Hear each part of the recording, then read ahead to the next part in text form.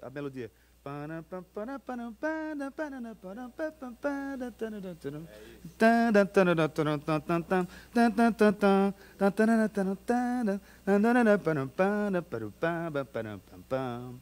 Bloco das flores andaluzas, pirilampos, um dia pôs funs e um bloco um dia só.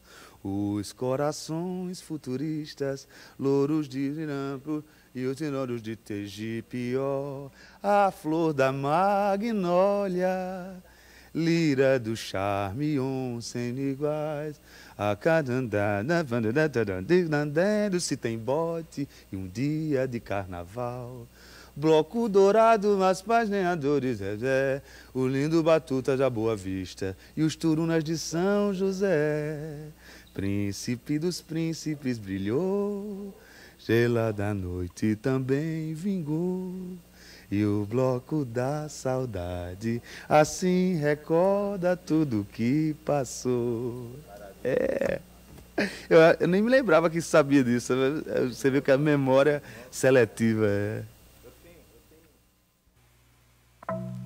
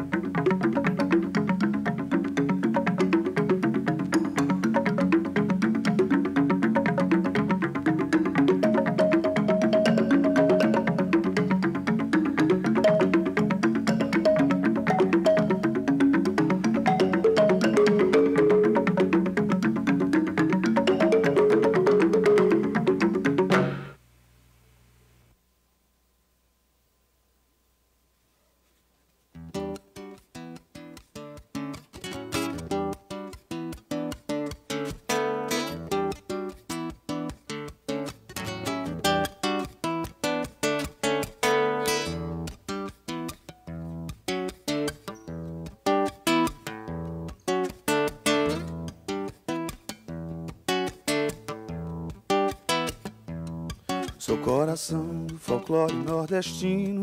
Eu sou Mateus e Bastião do Boi Bumbá. Sou um boneco de mestre vitalino, dançando uma ciranda em Itamaracá. Eu sou um verso de Carlos Pena Filho, um frevo de capiba ao som da orquestra armorial. Sou capibaribe num livro de João Cabral.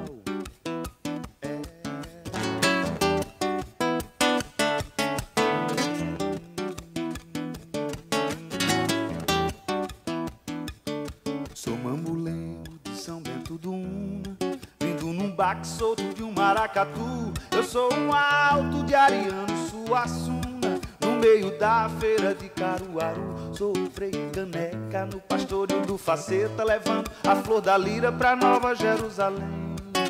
E sou Luiz Gonzaga, eu sou do Mangue também. Eu sou mameluco, sou de casa forte, sou de Pernambuco, eu sou o leão do norte. Eu sou mameluco, sou de casa forte, sou de Pernambuco, eu sou o leão do norte.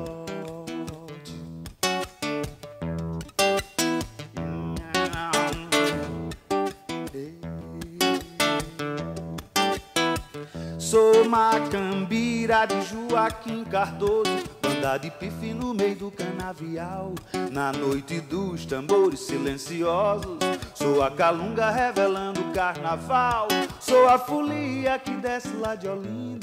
Da meia-noite, eu sou puxando esse cordão. E sou jangadeiro na festa de Jaboatão. Eu sou mameluco, sou de casa forte. Sou de Pernambuco, eu sou o leão do norte. Eu sou mameluco, eu sou de casa forte.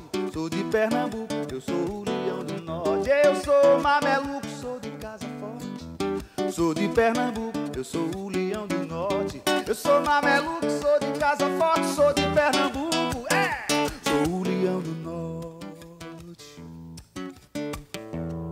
É, ia, ia, me dá teu remo. Teu remo pra me remar. O remo caiu, quebrou, sumana lá em alto mar.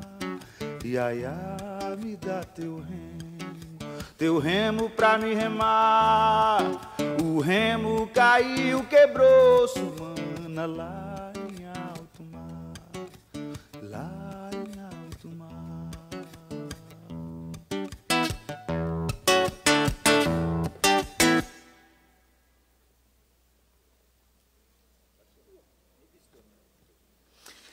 Oswaldo Lenine Macedo Pimentel, vulgo Lenine. Lenine porque papai foi fundador do Partido Comunista na Paraíba e eles tinham um, um, um, jogo entre ele e minha mãe. Os nomes dos filhos, quem botava era ele. Ele botou um Renan e o outro Lenine. Em compensação, quem botou o nome das filhas foi minha mãe, botou duas santas, Maria Tereza e Maria das Graças. Nascido em Recife, no bairro da Boa Vista, na Praça Chora Menino, onde sorri primeiro.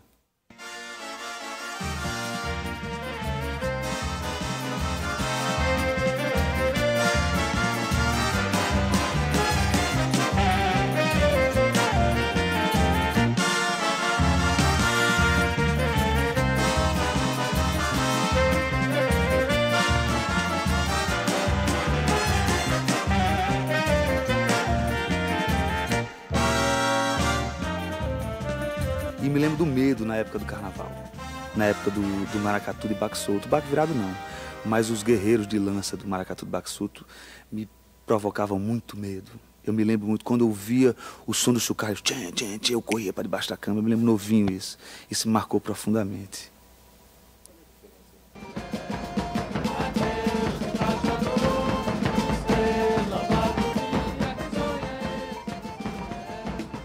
O, o, maracatu de baque virado foi um que se restringiu exclusivamente à zona urbana de Recife, é o mais tradicional e o mais antigo. O, o registro é justamente o maracatu Dona Santa, o Porto Rico do Oriente. E eles, os dois, tanto o baque solto como o baque virado, é, descendem do, do Alto dos Congos, que, que era um cortejo mesmo de coroação de reis e rainhas. No caso do, do ciclo da cana, quando houve o ciclo da cana, teve um êxodo muito grande urbano para o rural e nessa houve uma antropofagia mesmo, né? lembrando 22. E o baque virado se tornou uma outra coisa, que hoje a gente conhece como o, o, o baque solto, né? o maracatu rural. Que a orquestração é completamente diferente, é insólita mesmo, a polirritmia é diferente, já está incorporado aí os instrumentos quentes, de, ou, ou, um, ou um clarinete, ou um pistão, sempre é, propondo uma melodia. E o cortejo é diferente, porque os, os guerreiros de lança é, é, meia de lã, é flor de plástico, é óculos escuro, é, é bem antropofágico mesmo, é bem, bem misturado. Nas águas verdes do mar tinha um paquete bonito. Quando o farol deu sinal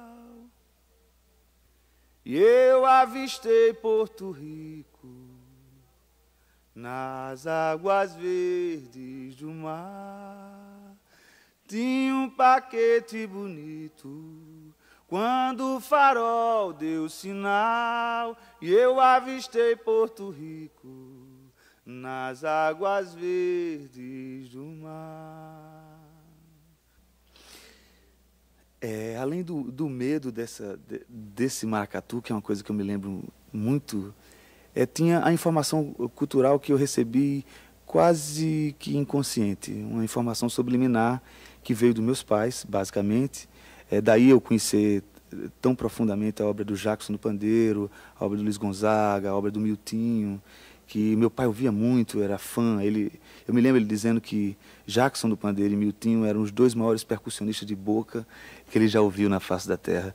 E, de certa maneira, o, o meu universo sonoro, eu acho que transita muito nessa, nessa carga de informação que eu recebi deles.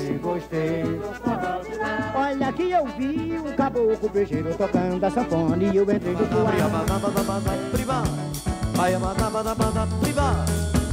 Cara de palhaço, perda de palhaço, sem sabadão. Rapaz, no jardim lá de casa, Eu, eu tinha, lá em casa todo mundo era muito musical, o jardim era com, a gente sempre fazia um piquenique em casa. Então minha mãe tocava cavaquinho, papai tocava um violão, a, a família toda sempre tem essa coisa do, do é ser a seresteira, né, de alma seresteira, de se reunir, botar uma toalha no gramado e ficar cantando. Então eu devo muito e engraçado é, porque eu vim descobrir que eu tinha essa informação da música brasileira depois. Porque quando me dei por gente, lá para os 14, 15 anos, é, foi a época do rock. E eu era um apaixonado pelo rock. Principalmente o rock progressivo, rock Led Zeppelin, Genesis. Eu vi muito, até os 16, 17 anos. Depois, quando, quando descobri, na verdade, o que me, eh, me levou a, a procurar a música brasileira foi o, o disco Clube da Esquina, do Milton Nascimento. Quando eu vi pela primeira vez, o, o Clube da Esquina foi uma tapa, foi assim, um produto de primeiro mundo feito aqui com aquela toda aquela carga barroca, né, de canção, de harmonia. Aquilo despertou para mim. Aí eu fui atrás da música brasileira. E aí vim descobrir que eu conhecia muito de música brasileira, de uma maneira subliminar, por causa dos meus pais e meus irmãos. Oi, falam que a ema gemeu no tronco do Jurema. A ema gemeu no tronco do ah, Jackson tudo, a Emma gemeu. É, Jackson, Jackson é um marco, né? Jackson não deixou escola, é um cara que está aí. Aliás, ano, esse ano que entra agora, é uma, é, nós comemoramos a morte, 10 anos redondos, né, da morte dele, se eu não me engano. É, eu posso estar falando besteira, mas eu acho que não, eu acho que é isso aí. E Jackson é, Jackson é uma coisa ímpar. É, aquele, aquele sujeito foi um, era uma máquina de demolição. É, eu tive o prazer de vê-lo tocando e, e, a exuberância rítmica dele, a coisa da ligação dele com, com aquele pandeiro, a maneira dele não se repetir em hora nenhuma. Eu vi ele cantando a mesma música dezenas de vezes e ele não se repetia a interpretação, né? Ele estava sempre improvisando. Eu acho que é o maior percussionista de boca que já existiu. Dominguinhos acha que é o maior sanfoneiro de boca que já existiu. E acho que foi uma pessoa que não deixou escola e que deixou uma perda, muito, uma lacuna muito grande. Hum. E João do Vale, outra figura marcante, né? O Brasil, é, é, é em 93, eu tive o prazer de fazer um disco com o Suzano e com o Denilson Campos, foi o Olho de Peixe. Esse disco funcionou para a gente quase como um passaporte para o mundo. É, a gente viajou bastante e eu tive a possibilidade de sair do Brasil e tocar em outros lugares. E para mim só foi muito interessante constatar que no resto do mundo não teve essa, essa, essa promiscuidade racial que tem no Brasil. Lá é, existe o gueto dos pretos, o gueto dos brancos, o gueto dos índios, os guetos dos árabes. Ninguém se mistura. Aqui o português comeu a Índia, o negão comeu a holandesa. Rolou um bunda lelê racial que, que deu nessa cultura, nessa exuberância cultural que é esse país. É algo inacreditável. É algo inacreditável. Gilberto Freire, Darcy Ribeiro já falou com tanta propriedade sobre isso, né? Eu me lembro da Darcy Ribeiro dizendo: vão, rapazes, moças, vão, trepem bastante, esse é o futuro dessa nação.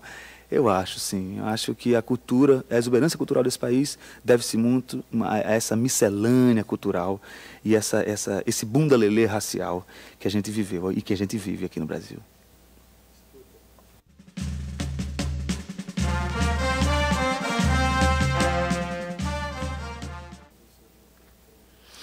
Muito frevo, Nelson Ferreira, Capiba, muita ciranda, muita ciranda.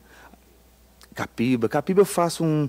Na verdade, eu tenho, tenho uma, uma canção no último disco, no dia, no dia em que faremos contatos, que eu faço uma homenagem a, a, quatro gerações de grandes criadores pernambucanos. É a maneira que eu, que eu achei de, de revelar isso. É algo que eu acho que está tão claro, as pessoas conhecem.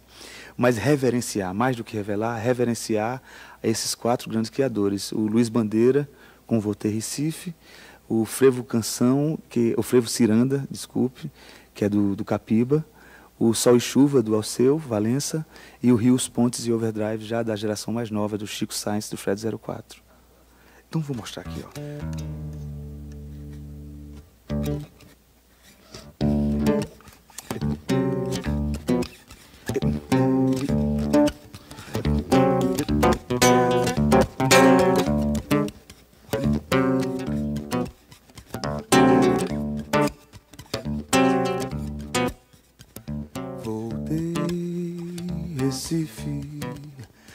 A saudade que me trouxe pelo braço.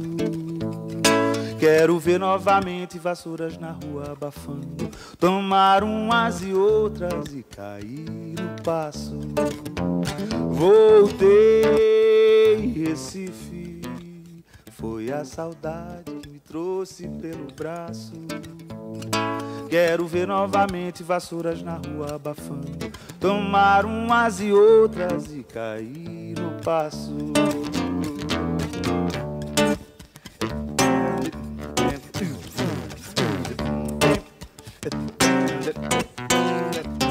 Eu fui na praia do Janga pra ver a ciranda e o seu ciranda, ciranda.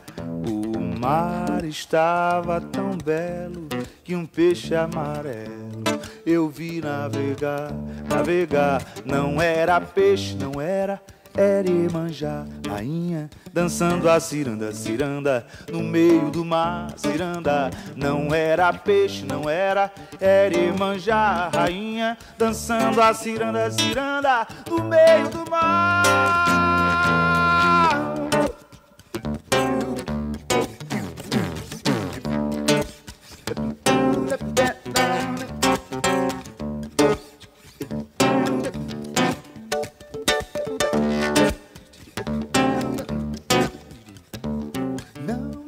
Posso mais brincar de sol e chuva com você. Eu não, não posso mais brincar de sol e chuva com você. É, eu disse para o seu dedo, eu tenho um dedal. Pro seu conselho, cara de pau, eu tenho dezembro e tenho janeiro. E se não me engano, tenho fevereiro. E se essa vida é um desmantelo, me mate, que eu sou muito vivo. Vivo, vivo.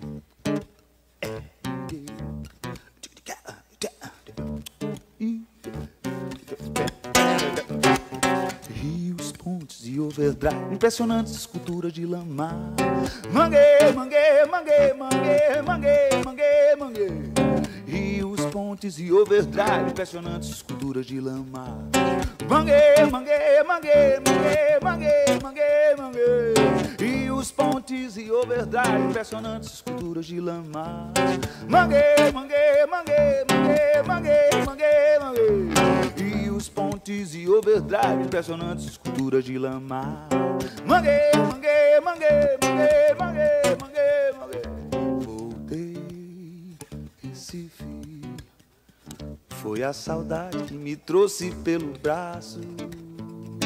Quero ver novamente vassouras na rua abafando. Tomar umas e outras e cair no passo.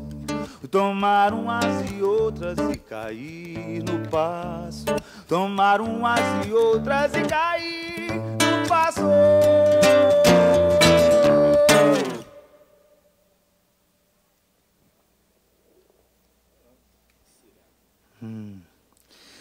Ciranda. Ciranda tem essa coisa. Primeiro, o ritual da ciranda, que eu acho muito legal, né? A confraternização, o fato de dar as mãos em cima do mesmo beat, né? Isso é um barato. E, e o fato de revelar o mesmo tipo de, de, de movimento do marejar, né? Da onda, né? A ciranda, eu, me criei praticamente é, ouvindo ciranda. Todos os finais de semana, junto lá de casa, tinha uma roda de ciranda. E me criei ouvindo isso. Me criei ouvindo. É, Vindo Recife, um rapaz me perguntou se na ciranda que eu vou tem muita morena. Eu disse: tem muita morena mulata, dessas que a morte mata e depois fica com pena. Ciranda. Otacílio, Lorival, Dimas e tantos outros hoje, pessoas fantásticas, né? pessoas que até covardia, né? Rogaciano, Leite, esse é um poeta. É, os cantadores é uma, é, um partido, é, é uma coisa à parte completamente. Porque eu acho que o cantador sempre teve uma função é, de cronista mesmo, né? de jornalista, né? repórter do tempo. É, já, já estamos na era da internet, globalização, e eles continuam fazendo esse mesmo trabalho. Né? É, de uma, é de uma importância, é, uma resistência é, fundamental. E a, a história de, das, é o gesto da palavra. Eu acho que o repente tem essa conotação, é o gesto da palavra, é o improviso verbal, né? Geralmente quando as pessoas falam do improviso, do, do repente, é, parece que é, é, espontâneo do nada. Não é bem assim, a gente sabe que não é assim. É como um, um, um, um músico de jazz, né? O cara improvisa, é lógico, mas ele em casa ele está estudando as escalas dele, ele tá, o improviso está é, a hora onde você põe a melodia certa no lugar certo. E eu acho que isso é o que o repentista faz. Na verdade, é um cronista que tem um vocabulário extenso, né? E que exercita essas, essas nuances das rimas de uma maneira exacerbada mesmo. Na hora do improviso, ele está improvisando sim, mas muita coisa já, já se definiu né, no decorrer do processo dele. Né? É um barato, é, é, é, uma, é uma resistência muito grande e é uma prova concreta de uma, de uma influência moura que nós temos no Nordeste. Está ali. As escalas estão todas árabes, né? É tudo menor, a intenção é, é bem do que o Mouro deixou ali, no, o que o mundo árabe deixou na Península Ibérica. Ah, isso é uma história famosa de uma, de um repente entre o Jacó Passarinho e o Cega Deraldo, e que o Jacó era famoso pelos trava-línguas e o cego muito mais. E se eu não me engano, o Jacó Passarinho puxou, qual foi o tema? Foi, um dedo é um dado, é um dia, é um dia, é um dado, é um dedo. E o cego respondeu, é, sou forte como um leão, sou bravo como um penedo, é um dedo, é um dado, é um dia, é um dia, é um dado, é um dedo. Aí eles Cega esse teu enredo, parece mais zombaria, tu hoje cega de raiva e o diabo será teu guia, é um dia, um dado, é um dedo, é um dedo, é um dado, é um dia. E eles saíram trocando e trocando e fazendo, exercitando. Teve uma hora que Jacó, passarinho, caiu na besteira de dizer, cego, agora puxe uma das suas belas toadas, pois todo, é, para ver se aquelas mocinhas dão alguma gargalhada, pois todo mundo tem se rido, só elas estão carladas. E o cego puxou com essa história, fez, Zé Pretinho, eu não sei mesmo de você o que será, Arrependido do jogo é você quem vai ficar.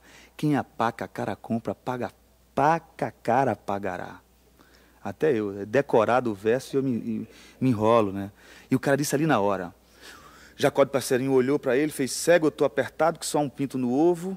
Tenho medo de sofrer vergonha diante do povo. Cego, se não for maçada, repita a paca de novo. Ele não tinha entendido, né? E o cego mandou. Digo um, eu digo dez, no falar não tenho pompa. Presentemente eu não acho a quem meu martelo rompa. Cara a paca pagará, quem a paca cara compra. Ele inverteu para não deixar o Jacó entender o mote. E o Jacó disse: cego teu peito é de aço, foi bom ferreiro quem fez. Pensei que o cego não tinha no peito tal rapidez. Cego, se não for maçada, repita a paca outra vez. Ele pediu pela terceira vez e isso foi uma gargalhada geral. Disse que Jacó passarinho partiu para bater no cego, porque não conseguiu. Porque o cego disse assim: é, arre com tanto pedido deste preto capivara, não tem quem cuspa para cima, que não lhe cai na cara, quem a paca cara compra, pagará paca cara. E não repetiu, né? E essa é uma história famosa que todo mundo conhece. Isso só para mostrar o inusitado desse, desse, do improviso, né? do, do jazz da palavra, que o exercício que os cantadores, os repentistas, os maiores cronistas, eu acho, de nossa época, fazem. Né?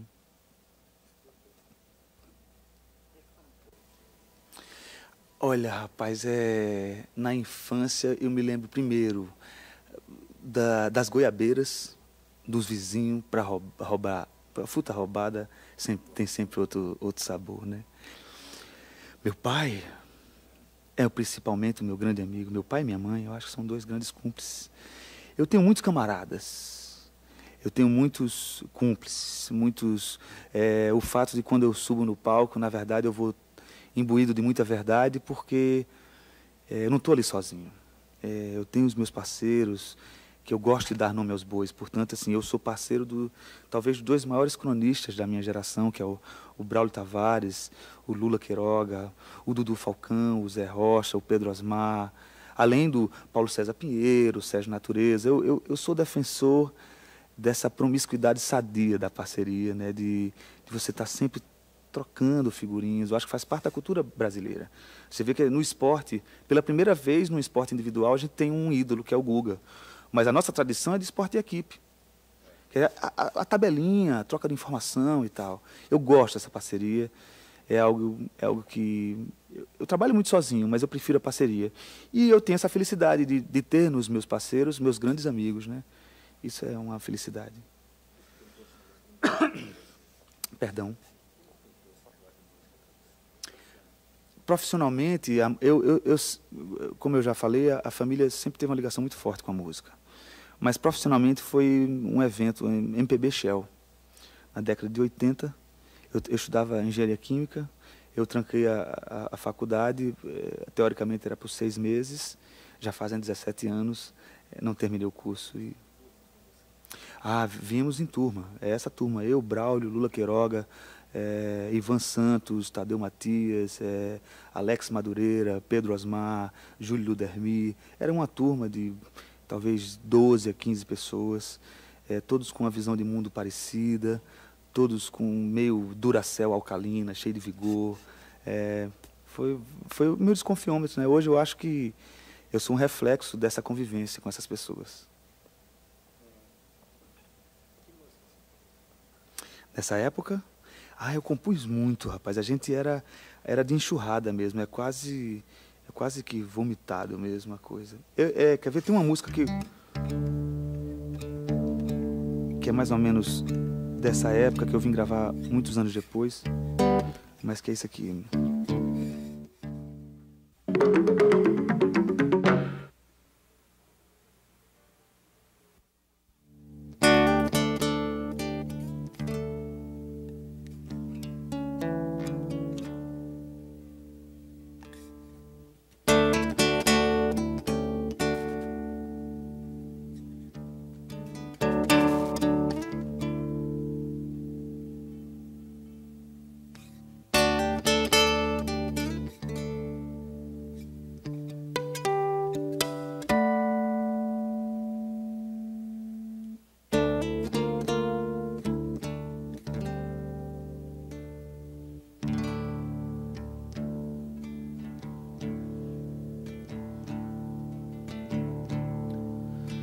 Sou aquele navio no mar sem rumo e sem dom.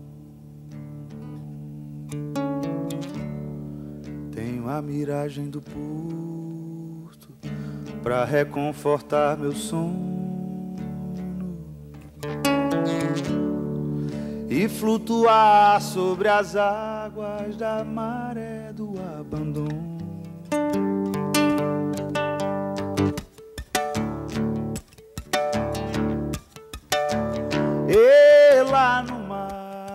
Eu vi uma maravilha, vi o rosto de uma ilha numa noite de luar. Eita luar, lumiou o meu navio. Quem vai lá no mar bravio não sabe o que vai achar.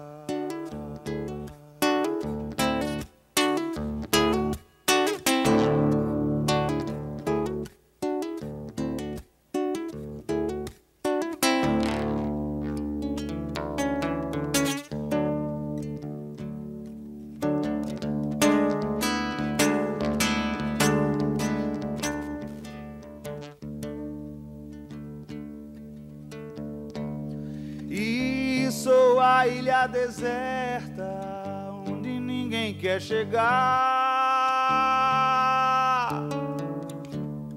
Lendo a rota das estrelas na imensidão do mar, chorando por um navio. Ai, ai, ui, ui, que passou sem lhe avistar. E lá no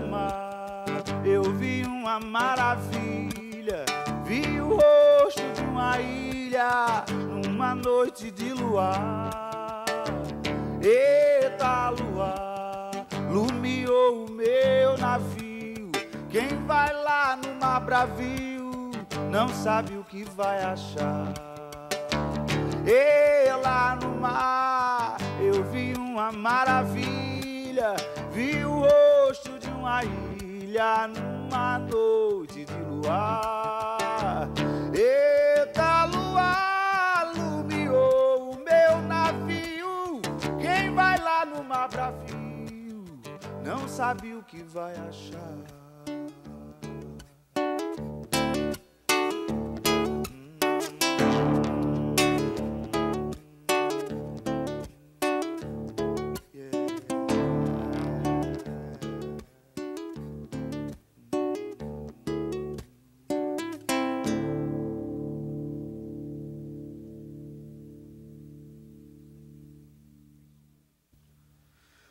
Disco, o primeiro disco gravado foi em 83, é, pela, na época foi a Polygram, era um, era um show ao vivo que nós fizemos. É, fizemos eu e Lula Queiroga, era um show que a gente fazia isso na época do 83, 84, se eu não me engano. No final de 83 saiu o disco. E foi praticamente gravado ao vivo no estúdio. E nesse sentido era quase como um documento daquele espetáculo que a gente fez, que era o Alto dos Congos, que era um, um compêndio é, inventariando toda essa geração de, de, de criadores que eu estou sempre reiterando, mais uma vez estou falando, que é o Braulio, o Lula, o Pedro. E isso virou disco em 83, chamava o Baque Solto. A minha ideia era fazer uma trilogia mas ficou na biologia mesmo, porque eu só fiz o baque solto e o baque da era. Aí, aí o terceiro disco já foi em 93 com Suzano, é, o Olho Peixe e agora o Dia que Faremos Contatos. Eu, na verdade, eu, eu exerci muito mais a, a carreira do compositor. Eu sempre fui meio franco atirador, porque não trabalhei só com, com composição especificamente, mas com trilhas de cinema, de, de televisão e de teatro mas também como roteirista, fui roteirista dos Trapalhões durante uma época, trabalhei com humor para televisão durante uma época. Então isso me permitia, a, de certa maneira, preservar esteticamente o que eu gostaria de fazer. É, sou meio bissexto no disco, muito por causa disso, porque eu só tinha a compulsão de fazer quando tivesse o prazer envolvido. Para mim é, é condição sine qua non. É, eu já vi algumas pessoas falando dos seus discos e dizendo que é, é meio sofrido fazer disco e tal. Eu, não, eu desconheço isso. Para mim é sempre muito prazeroso. E no dia que deixar de ser, eu paro de fazer. É, no, é, essa Miragem do Porto que eu, é do, do, do Olho de Peixe também. Tem uma canção no Olho de Peixe que eu, eu gosto muito, porque é uma homenagem que eu fiz ao, ao Jack Palance, aquele do Acredite Se Quiser. Eu, eu, achar, eu achava que eu acredito, se quiser, se fosse um programa brasileiro, podia ser diário, de umas duas horas, devido à quantidade de fatos insólitos que acontecem nesse país. É algo, é algo incomensurável mesmo, né? E aí foi uma homenagem que a gente fez, era o Acredito ou Não, Believe It or Not.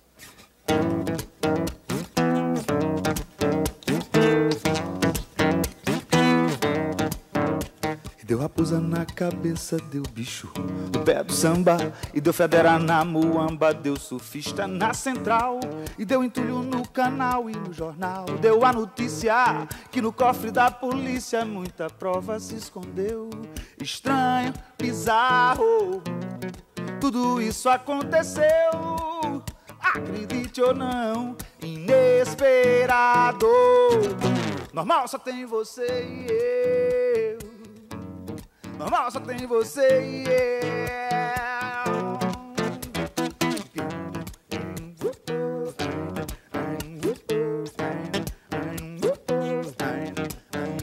E metaleiro no maraca, japonês na apoteose, caretice no panaca e overdose no esperto, tempestade no deserto, maremoto na piscina, e fifi na Palestina, bang bang no borel estranho, bizarro. Tudo isso aconteceu, acredite ou não, inesperado. Normal só tem você e eu. É. Normal só tem você e eu.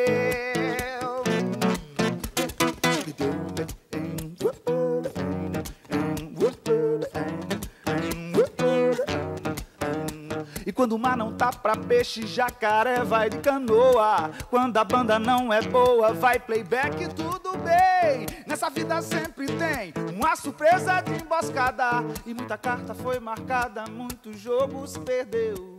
Estranho, bizarro. Tudo isso aconteceu, acredite ou não, inesperado. Normal só tem você e eu. Normal só tem você, você e eu. Normal só tem você e eu. Normal só tem você, você e eu.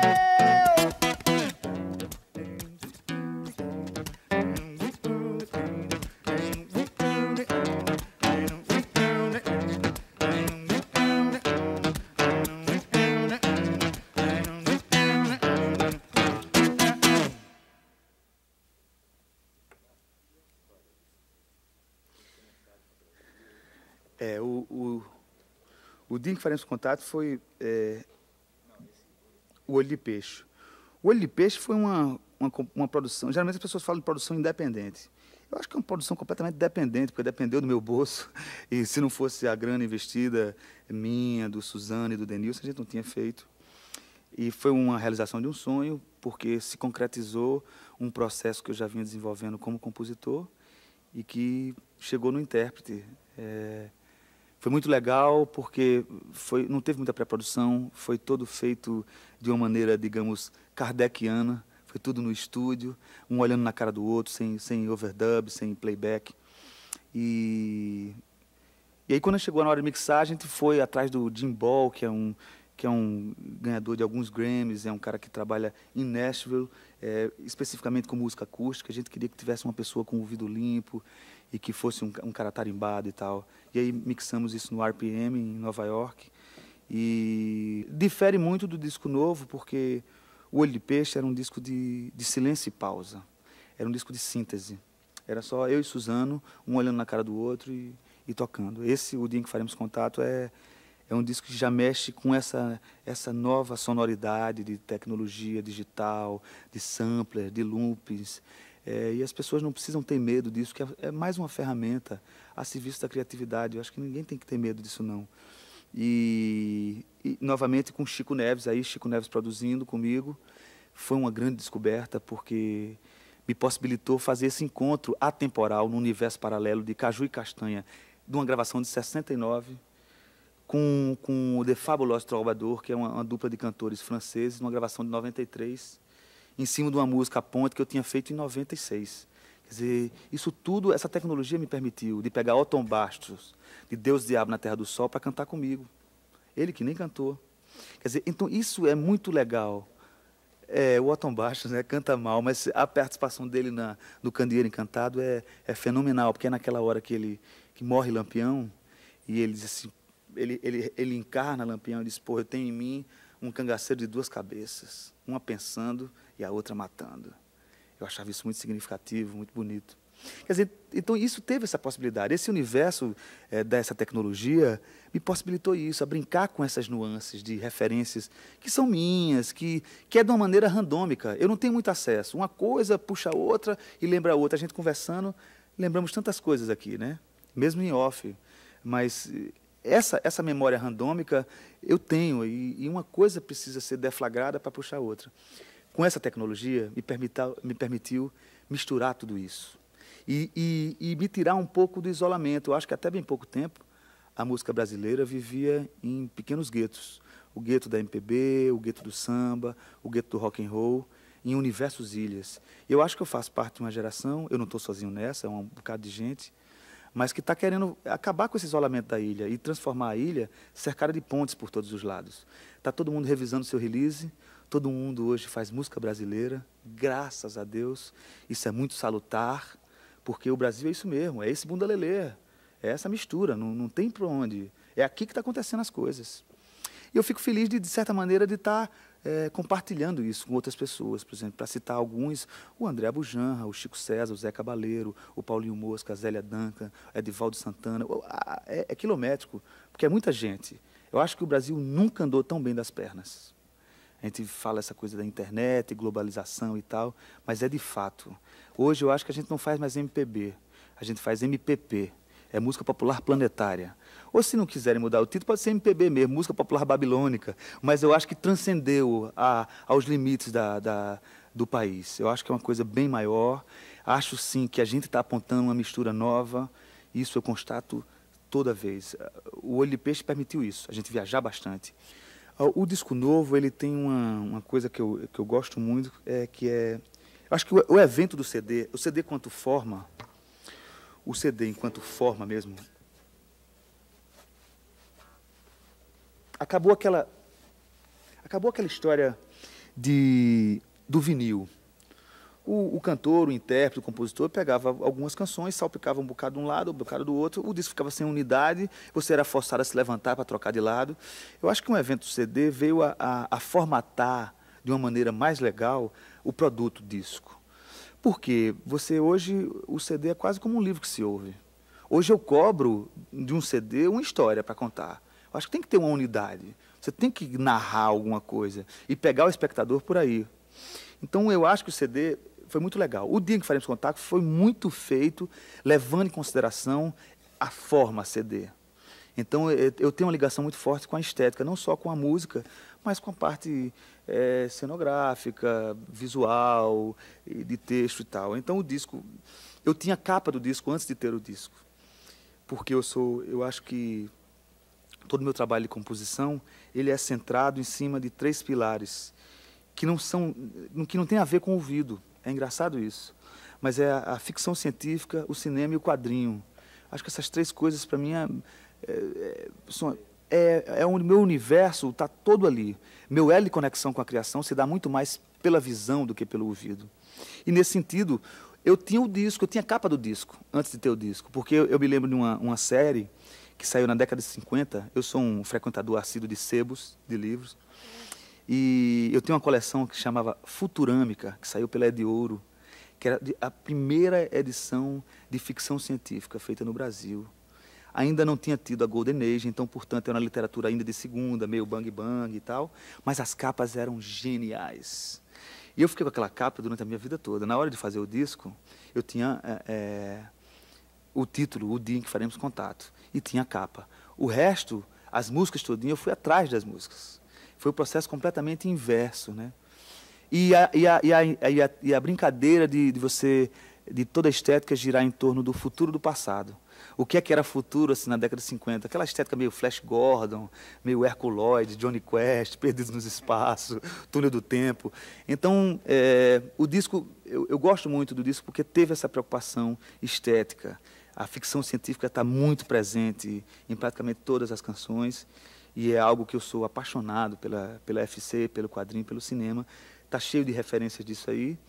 E foi um disco feito com muito carinho. É, a gente levou quase um ano fazendo, muito porque eu estava viajando muito com o Olho de Peixe.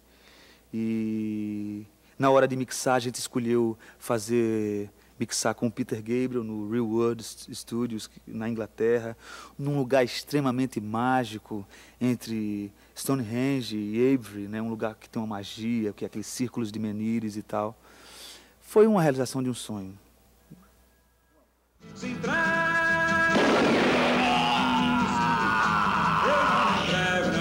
O Diferente Contato tem uma canção que eu gosto muito, que foi essa possibilidade de cantar com Otton Bastos, pelo menos 25 anos mais novo. Chama-se Candeeiro Encantado e é outra parceria com Paulo César Pinheiro. Ai, ai, Oh, mm, oh, Ay, ay, oh.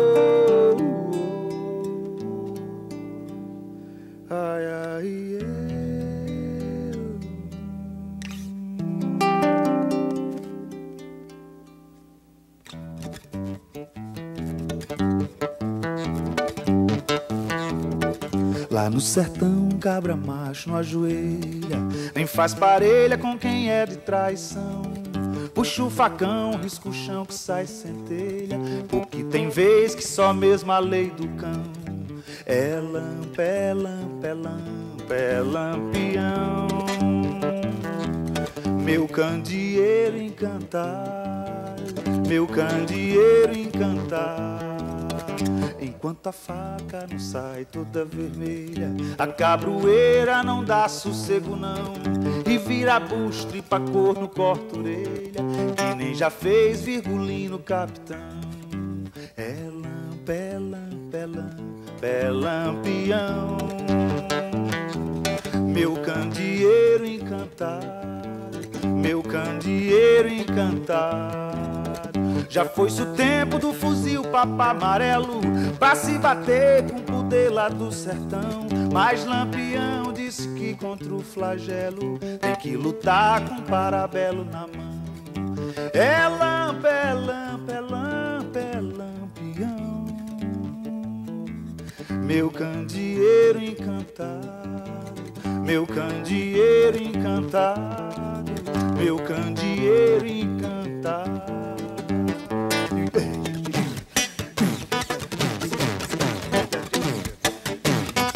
Falta o cristão aprender com São Francisco. Falta tratar o Nordeste como o Sul. Falta outra vez lampião, trovão, curisco. Falta feijão em vez de mandar caro. Falei, falta nação acender seu candeeiro. Faltam chegar mais Gonzagas lá de Exu. Falta o Brasil de Jackson do Pandeiro. Maculele, carimbó, maracatu. É lampa, é lampa, é lampa, é lampião. Meu candeeiro encantado, meu candeeiro encantado, meu candeeiro encantado.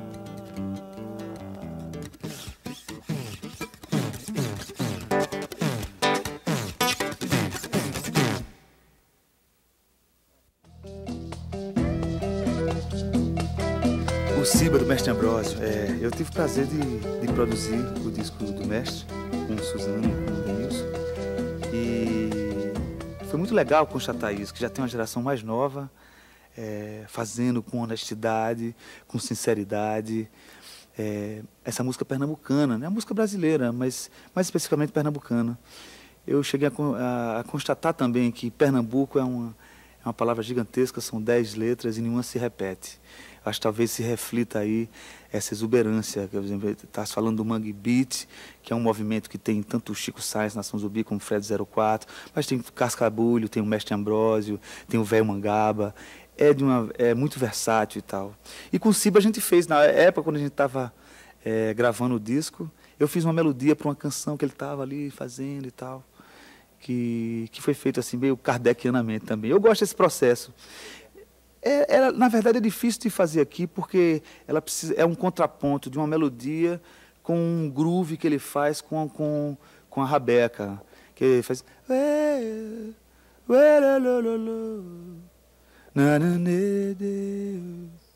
I know. Whoa,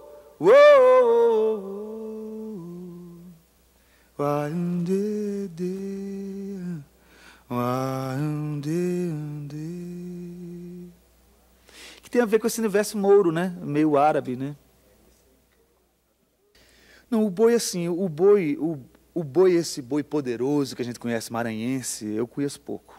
Eu conheço o boi, o boi meio capenga, o boi mais popular, um, o cavalo marinho, que é uma coisa que tem muito em Pernambuco, mas que não tem essa exuberância meio ah, de lantejoulas e rica que é o boi, o boi do Maranhão. Apesar de ter similaridades na polirritmia, ele é bem diferente nos personagens, nas personagens.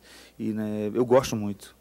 Gosto muito. Mas assim, conheço pouco. Eu, eu, na verdade, o meu universo, eu sempre transitei muito em cima das baixas frequências, do candomblé, do maracatu. Isso me interessou, sempre me interessou muito. É, o candomblé é uma exuberância. Eu, eu, eu, eu sou uma pessoa muito cética. É, as pessoas perguntam, ah, você acredita em reencarnação? Eu digo assim, ah, o cara só encarna comigo uma vez, ele não vai encarnar comigo. mas isso é uma piada. Na verdade, assim, eu sou uma pessoa, eu tenho uma espiritualidade, mas não tenho uma simpatia por nenhuma religião. Talvez a que eu simpatize mais seja o candomblé, pelo, pelo simples fato de, de não dissociar o bem do mal. Eu gosto muito disso. Não existe aquela a turma do bem contra a turma do mal. Não existe isso na vida humana. Isso, a pessoa pode ser um, uma boa figura para fulano e para cicrano ser um facínora.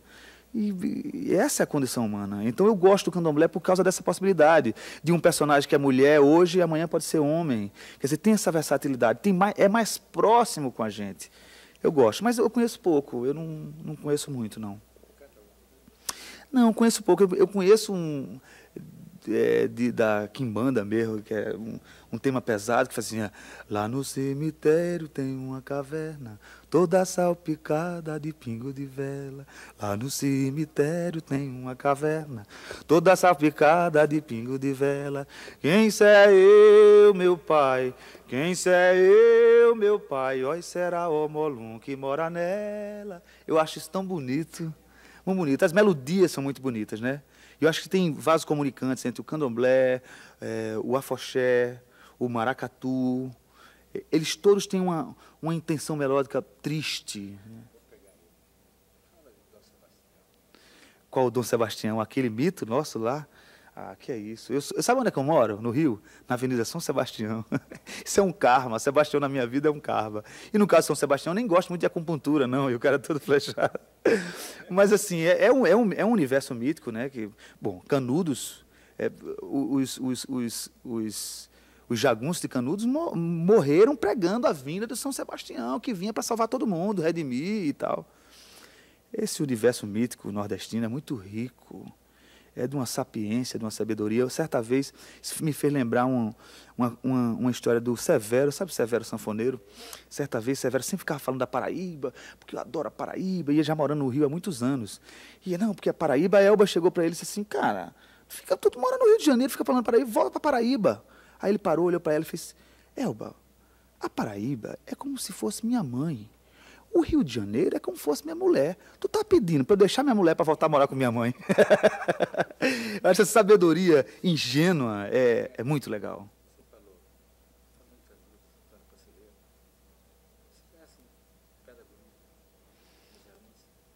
Não, só, só como referência. Para mim, eu, eu, conheço outra pedra, a Pedra do Reino, do Suassuna, que foi um, um marco para mim porque mudou para mim uma série de coisas, de conceito do que era cultura, do que era literatura. E, no, no, Dom Sebastião. É,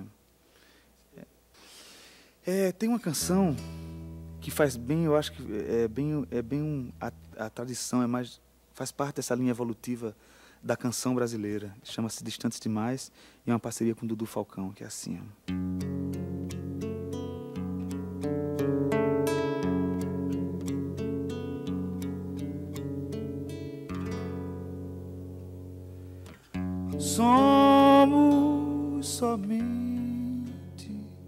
a fotografia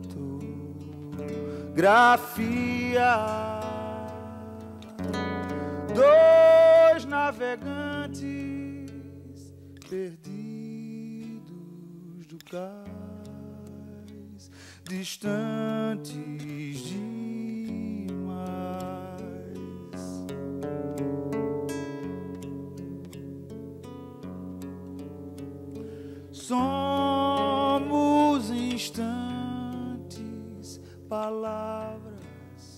poesia. Dois delirantes ficando reais, distantes demais. Noites de sol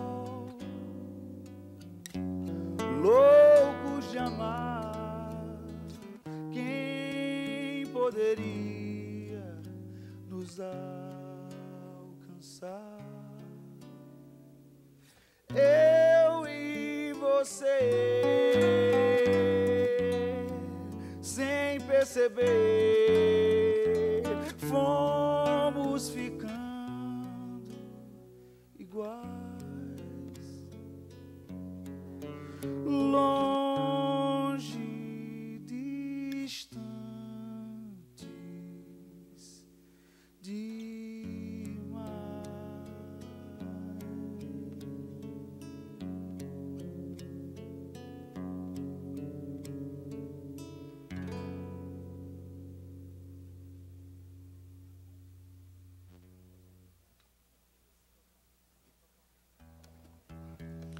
Tocar uma canção que é uma homenagem que eu faço a mais uma vez a Jackson do Pandeiro, que é essa pessoa ímpar, que apesar de não tido tido a possibilidade de realizar o sonho de conhecê-lo, sou um fã incondicional, é, é uma das pessoas que para mim eu miro como exemplo, como músico que foi, como compositor que foi e pelo vigor que era. É uma canção que eu fiz é, e a Fernanda Abreu gravou, o que, me, é, que foi uma felicidade muito grande, porque a Fernanda, que veio na tradição da soul, dance music, né, cantando Jackson, né, foi uma, uma realização mesmo. E ela fez com muita propriedade. A música chama-se Jack Sou Brasileiro.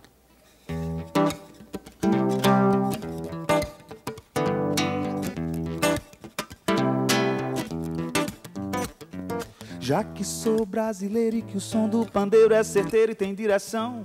Já que subi nesse ringue, o país do swing é o país da contradição. Eu canto pro rei da levada, na lei da embolada, na língua da percussão. A dança, meu gango dengo, a ginga do mamulengo, o charme dessa nação. Quem foi que fez o samba embolar? Quem foi que fez o coco sambar? Quem foi que fez a ema gemer na boa? Foi que fez do coco um cocar? Quem foi que deixou um oco no lugar? E quem foi que fez do sapo cantor de lagoa? Diz aí, Tião, vai, Tião, oi, você fui. Comprasse, comprei, pagasse, paguei. Diz quanto foi, 500 reais.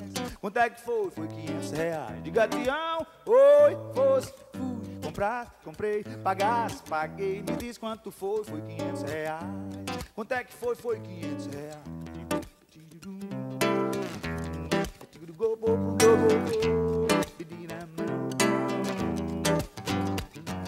Já que sou brasileiro do tempero, do batuque, do truque, do picadeiro e do pandeiro e do repique, do pique do funk rock, do toque da platinela, do samba na passarela dessa alma brasileira, despencando da ladeira na zoeira da banguela. Essa alma brasileira despencando da ladeira na zoeira da banguela. Já que sou brasileiro do tempero, do batuque, do truque, do picadeiro, do pandeiro, do repique, do pique, do funk rock, do toque da patinela, do samba na passarela dessa alma brasileira, despencando da ladeira na zoeira da banguela. Essa alma brasileira despencando da ladeira na zoeira da banguela.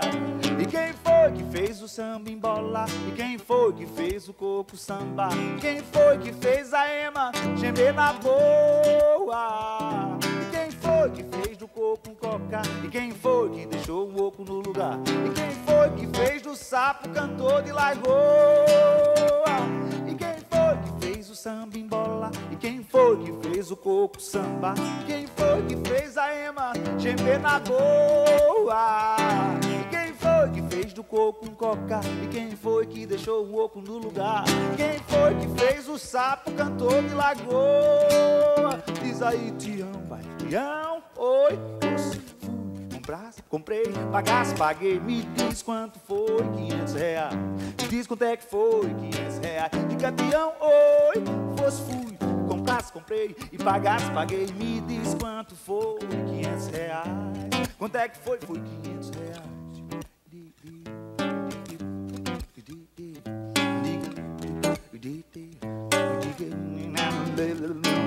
Eu só ponho o bebop no meu samba quando tio Sam pegar o tamborim. Quando ele pegar e no pandeiro e no zabumba. Quando ele entender que o samba não é rumba. Aí eu vou misturar Miami com Copacabana. Chiclete eu misturo com banana. E o meu samba, e o meu samba, e o meu samba vai ficar assim. Yeah. A imagem meu, a imagem meu, a imagem deu,